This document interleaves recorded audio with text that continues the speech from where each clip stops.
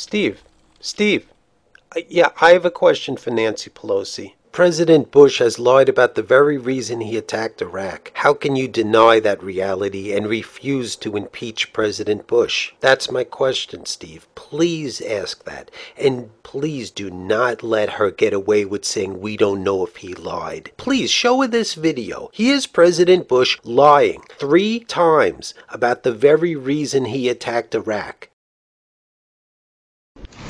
And we gave him a chance to allow the inspectors in, and he wouldn't let them in.